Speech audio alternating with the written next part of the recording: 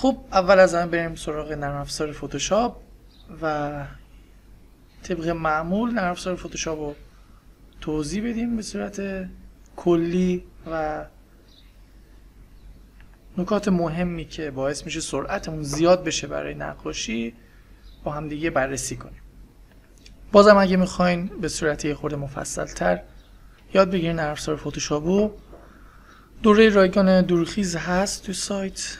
به علاوه این که اگه بخوایم بازم حرفه‌ای تر و کامل کامل یاد بگیرین دوره پرش پرواز فصل اولش کاملا فتوشاپ به صورت حرفه‌ای توضیح دادم و آموزش دادم و می‌تونین از اون استفاده بکنید.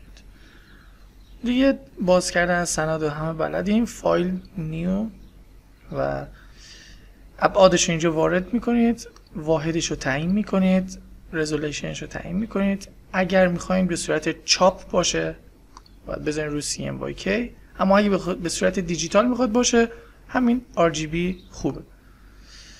بعد گریتو که می‌زنید سندتون باز میشه. به صورت کلی اگه بخوام بگم یه نوار منو این بالا داریم.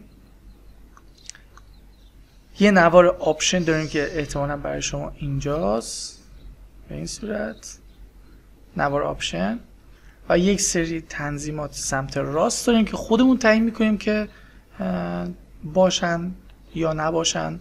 و همینطور ابزارهای ما که اینجاست به صورت دو ردیفه و یا یک ستونه یا دو ستونه می‌تونه وجود داشته باشه.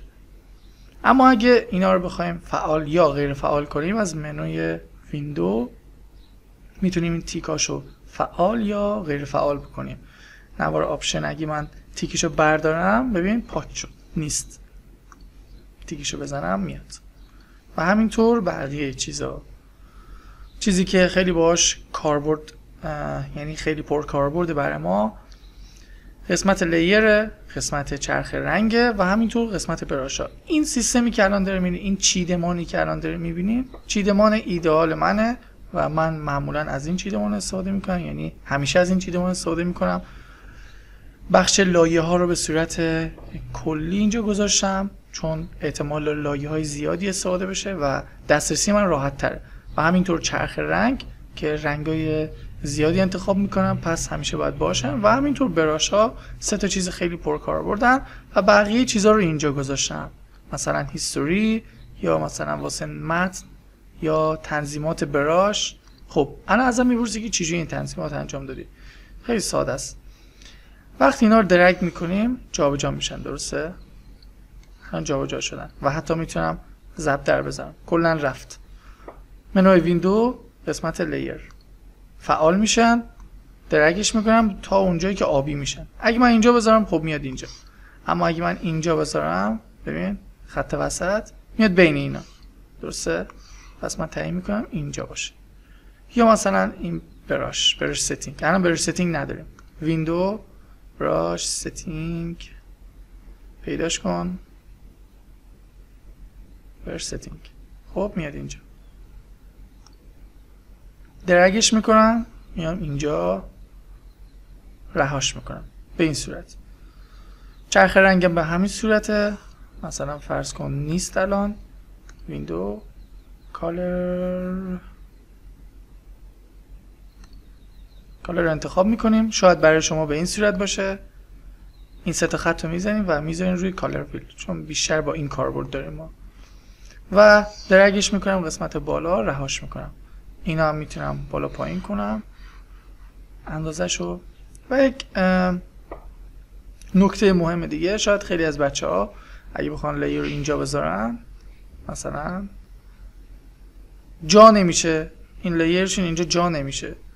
و فقط دو ردیفه. واسه این مشکل یک راه حلی وجود داره و راه حلش هم اینه که باید برین روی صفحه دسکتاپتون کلیک راست کنین و قسمت display setting رو بزنین. این صفحه که باز شد این قسمت درصدی داره. scale layout شما و سایزشه. اگر خیلی بزرگ باشه مثلا 125 یا 150 درصد باشه آیکونا بزرگ میشن. به خاطر همین چیدمان فتوشاپ شما یه جوری میشه که جا نمیشه اینا کنار هم. و شما باید اون رو صد درصد بذارین. همین نکتهش این بود. و همینطور بخش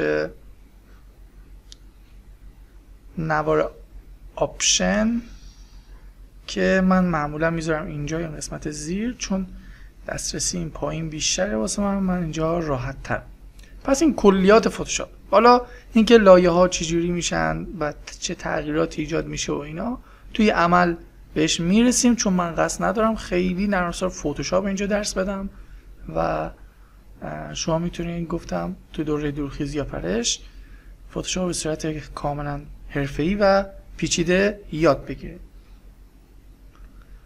و اما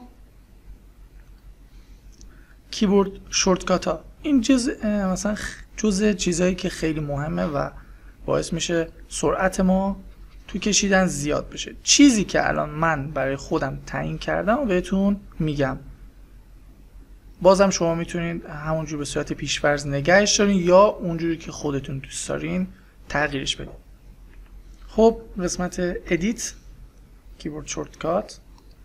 و این صفحه باز میشه. چند تا قسمت داره اینجا و فعلا همون اولی باشه.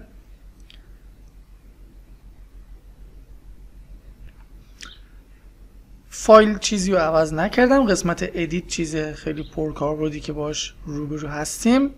undo هستش که واسه شما control Z هست اما من گذاشتم روی F1 چون با کیبورد راحت تر می‌تونم F1 بزنم. کلا خیلی از این چیزهایی که الان میگم همشون با F, F1 و F2 اینا.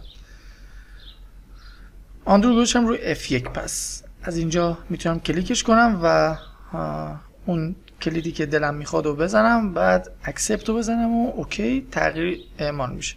خب این از این. قسمت image هیچی؟ layer هیچی قسمت select یه deselect داریم اینجا که برای شما control D هست که من گذاشتمش روی F2 به این صورت و چیز دیگه ای نداره تو قسمت select. و همینطور این تغییرهایی که میگم و اگه می‌خوای مثل من باشه انجام ده اگه با, با کیبورد کار می‌کنی. و همینطور قسمت ویو دو تا چیز داریم. یکیش میای پایین.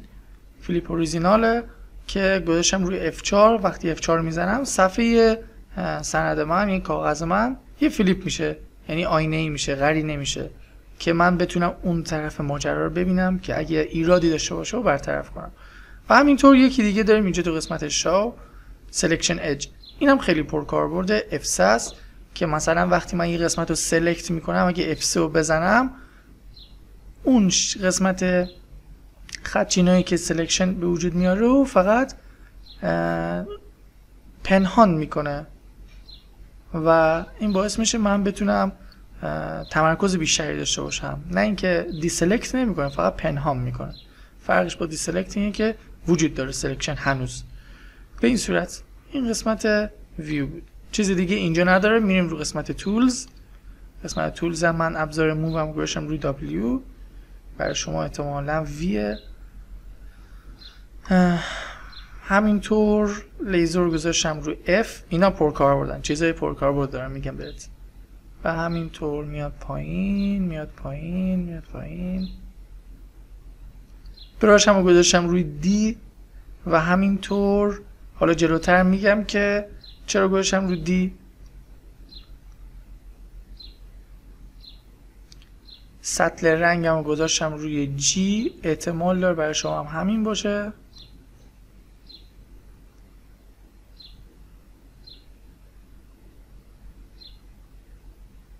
و همینطور zoom tool م گذاشتم روی Q که کنار همین W باشه. چند تا کلیدی کنار هم هستن رو تعیین کردم واسه این کار.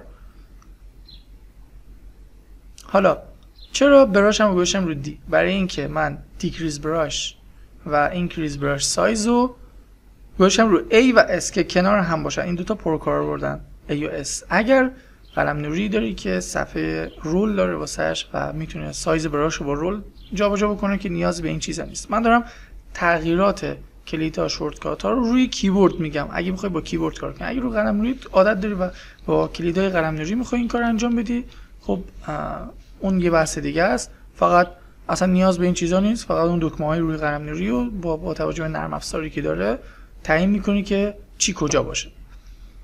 اما روی کیبورد من می‌تونم با یه دست چپم راحت تغییر بدم و به این صورت تعیین می‌کنم. خب تموم شد. هر کدوم اینا رو تغییر انجام دادیم یعنی تغییر دادیم. accept رو می‌زنیم بعد OK می‌زنیم و تموم میشه همه چیز. حالا من می‌تونم خیلی سرعتی همه کار انجام بدم. یادتون باشه وقتی brush تون فعاله کلید alt رو نگه دارین چی میشه؟ قطع چکون میاد و رنگ جدیدی انتخاب می‌کنه به این صورت. و اگه بخوایم برگردیم به رنگ قبلی این قسمت سوچز است که بازم از منوی ویندو فعال میشه کرد سوچز رو به این صورت. پنجره هم میشه تو هم گذاشته. مثلا اینو درک کنی فقط پسی که اینجا اینو بذاریم اینجا. ببین؟ تو هم دیگه هم میشه گذاشت. و این رنگ آخری یعنی رنگ ما قبل آخر انتخاب می‌کنم و رنگم دوباره برمیگرده به اون چیزی که می‌خواستم. و همینطور روی قلمم هم دو تا کلید داره. من بالایی رو گذاشتم تغییر براش و پاکن به این صورت و اینم گذاشتم روی آلت که بتونم راحت رنگ پیک کنم. به این صورت.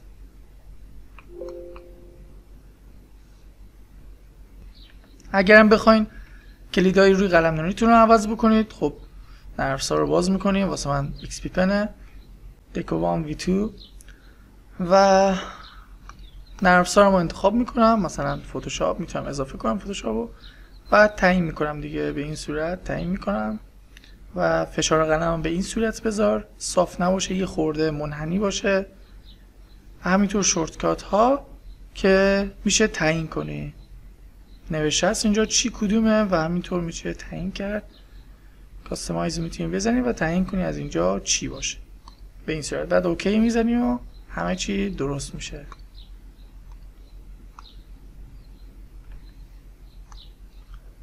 خب اگه بخوایم راجع به تنظیمات و حرکت های کلی فتوشاپ و آماده سازی برای یادگیری صحبت بکنیم import کردن brush هم اینجا میشه گفت.